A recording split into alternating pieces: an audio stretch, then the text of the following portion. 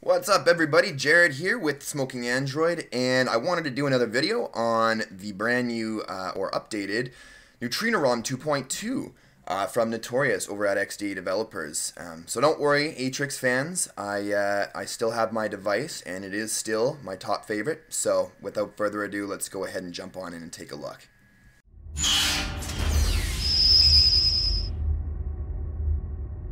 Alright, so uh, upgrading from um, Neutrino ROM version 2.1, you'll notice that, um, well, one of the big major changes that uh, Notorious has actually included in this uh, ROM update is um, the ability for HDMI uh, uh, landscape mirroring.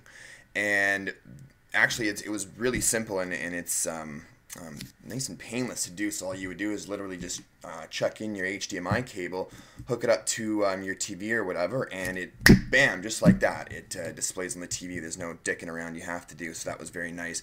As well as um, I will post a link in the description below for this. Let's see if I can focus this for you.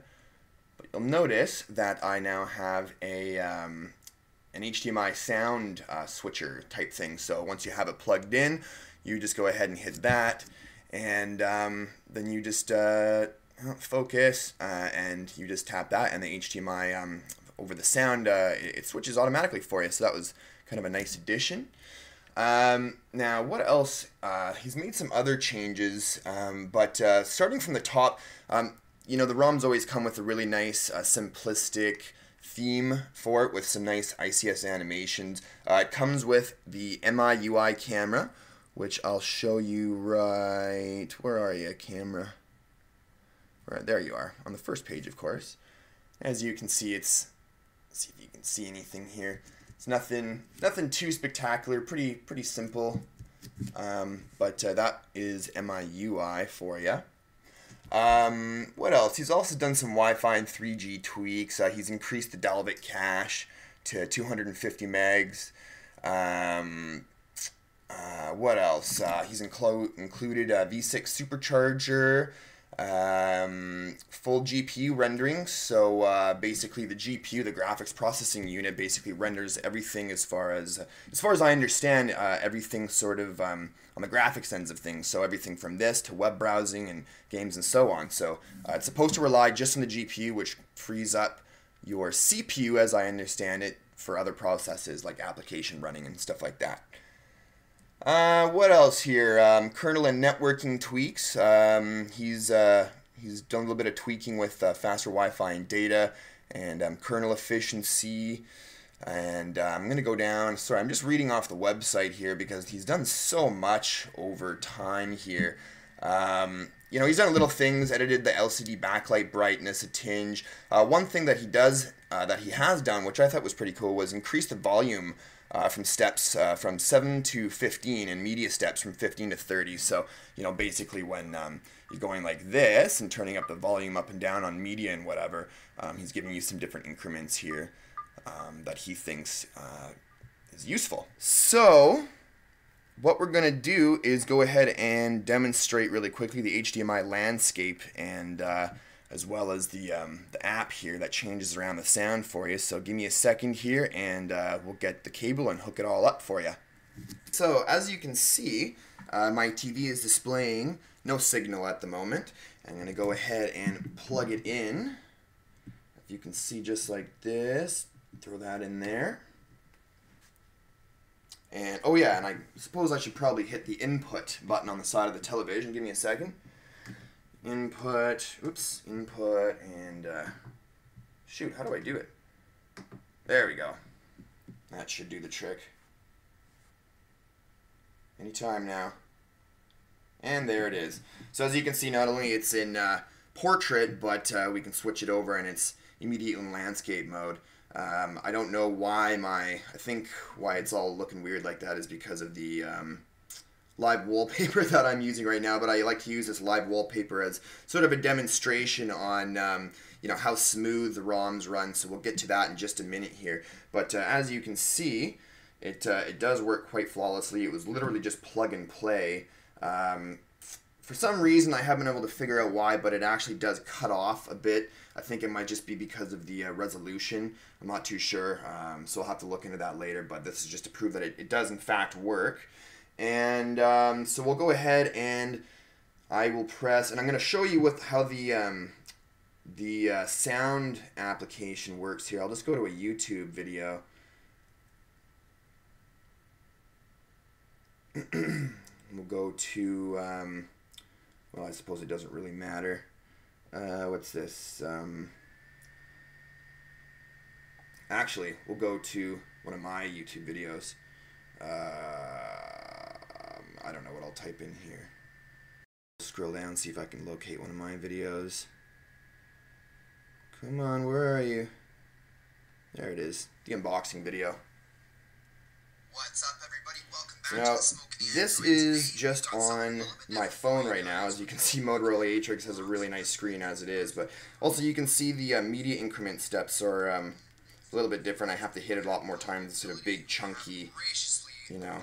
Anyways, so we're gonna go ahead and I will show you what it, how easy it is to um, turn over the uh, sound for you. So just literally hit that button. Go ahead back into the YouTube video. Go ahead and play it. And I suppose I should probably turn up the audio on the TV. There it is. All right, everybody, welcome back to And it's just that simple, guys. Okay, so as I was uh, just talking about before, I just wanted to go over some of the um, performance, uh, the noticeable performance enhancements that comes with uh, Neutrino ROM from Notorious, and um, obviously we want to take a look at smoothness. How how smooth is the device? How does it handle with you know web browsing and loading up your gallery? I mean, these are all big issues, especially when loading uh, or um, using a live wallpaper. So this is actually a really good way to um, demonstrate it. So you'll notice that um, I actually only use one home screen, as many of you may know, but just for the purpose of this, I added a second one. So as you can see here, the transition between home screens is flawless. There's absolutely no lag and no stuttering, no hesitation whatsoever. Um, with that, especially going into your app drawer and back and forth, you'll notice how smooth it really is. Dragging down the, the uh, notification bar and back up again. Um, a lot of phones that I've played with in the past seem to have an issue with um, um, as soon as you turn off the screen and uh, you know unlock the device. You can't it doesn't register your touch right away when you if you want to check for um, a notification of sorts. So it's nice to see that um, it's very smooth like that. Um, and I'm sure the 1.3 gigahertz overclock kernel um, helps with that as well. Uh, so we'll go ahead and check out some web browsing uh, the capabilities of this. You can see it loads up quickly. I am using Wi-Fi at the moment but um, nevertheless um, all right, so let's uh, go ahead and let's head on over to all of our favorite website, XDA Developers. We'll see how quickly it loads up their homepage.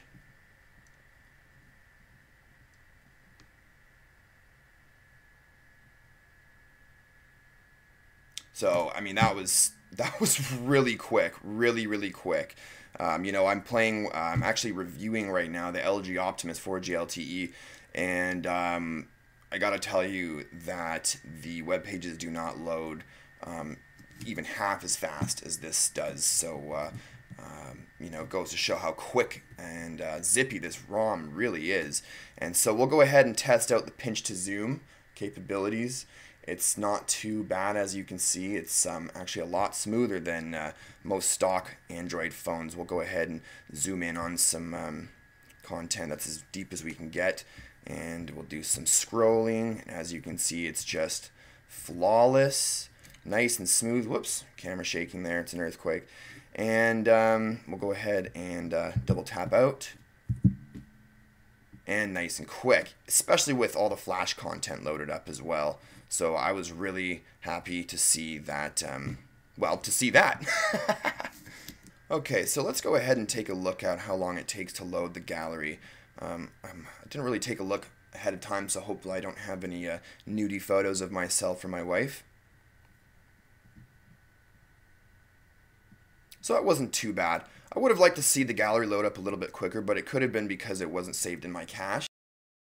We're going to do a quick speed test here. Um, hopefully uh, we'll be able to see some performance improvements with the, with the new tweaks.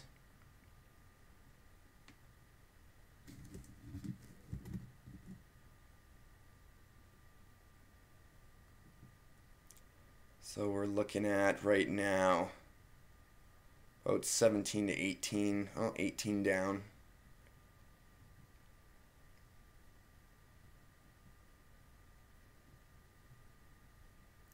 And close to 3 up. Um, I can tell you that uh, my up speed is you know, uh, reasonably higher than it has been in the past. However, I didn't notice a huge jump uh, with the uh, with the down speeds. So we'll go ahead and um, continue on. We're going to do just one more test. It's going to be a, a benchmark test with Antutu, and uh, we'll go ahead and end this video. Okay, so at the last second I changed my mind and decided to go with Quadrant Standard as they've released a new update for it that supports um, dual-core phones. So uh, we'll go ahead and jump in and hit run full. Okay, that was taking too long to load up, so I went ahead and cut it through. Um, as you can see, uh, our device has reached 3643, so 3643 on the uh, on the Richter scale there. Um, not really too impressed with uh, quadrant standards um, benchmark results there, so we will in fact go ahead and try and Antutu next. Okay, so we are about to start our Antutu benchmark test. So let's go ahead and test. Yes, do all the good stuff. Let's see how this baby handles. Oh, choose SD card. What the heck? Come on, Neutrino ROM. Uh, boy. We'll just choose that one. Okay, so the test is done, and we have scored six uh, sorry, 6340 uh, at, you know, 1.3 megahertz, or gigahertz if you will. So we'll go ahead and um, score chart. And let's see where we are on this. So as you can see, Motorola Atrix just below the HP touchpad. I'm assuming that's probably with um, custom ROMs and things like that. But uh, anyway, so that didn't do too poorly anyways, that's also with, um, as you can see, uh, what's that? 18% battery life left. So um, as far as I'm concerned, that's uh, that was pretty darn good. Submit. And yeah, well, that's not too bad. So anyways, we're going to go ahead and look at some other things like the dialer.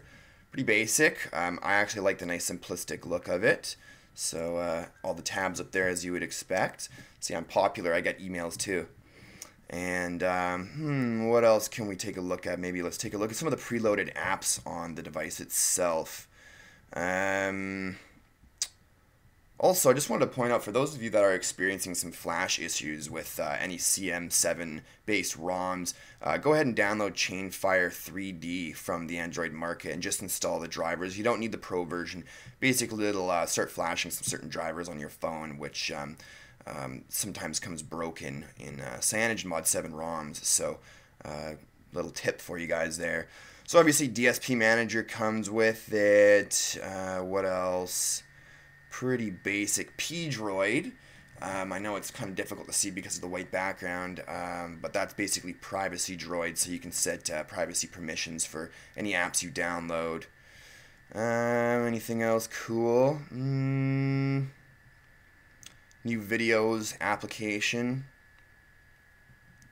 which seems to load up music as well, so I'm kind of confused about that. Um, also, I do recommend the um, uh, same settings as me for this ROM. If you're using the 1.3 gigahertz uh, kernel version of this ROM, come on! Oh shoot, stop it. Um, if you're using it, then uh, get yourself some uh, set CPU action. Go ahead and set yourself up a profile, a screen off profile with, um, you know, maximum. I have, actually, this is wrong. I should have it set down to, I have mine set to 456 and minimum uh, 216. So um, when the screen's turned off, it runs minimal. So we'll go ahead and save that. Oh, and set the priority to 100%.